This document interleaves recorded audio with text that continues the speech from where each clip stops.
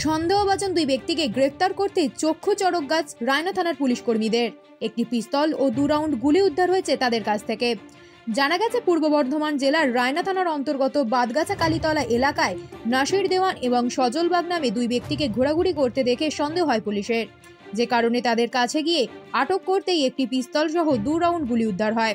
এরপরই ওই দুজনকে গ্রেপ্তার করে পুলিশ। ধৃত দুজনকেই আজ বর্ধমান জেলা আদালতে পেশ করা হয়।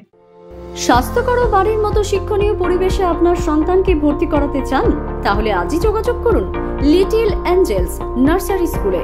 আপনার সন্তানের জন্য সর্বোত্তম যত্ন প্রদানের সিবিএসই পাঠ্যক্রম ইংলিশ মিডিয়াম স্কুলটি হল লিটিল অ্যাঞ্জেলস। ছাত্রপ্রতি একক মনোযোগ, ইতিবাচক শিক্ষা, বন্ধুত্বপূর্ণ পরিবেশ, ছাত্রছাত্রীদের জন্য অভিজ্ঞ ডাক্তার দ্বারা হেলথ ক্যাম্পের সুবিধা।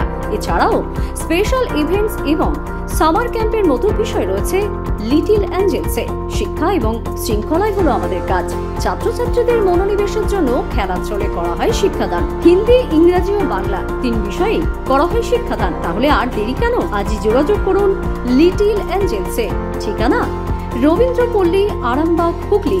বিশদ জানতে যোগাযোগ করুন eight nine six seven one three nine four one three অথবা nine seven three four nine four zero seven five four এই নম্বরে।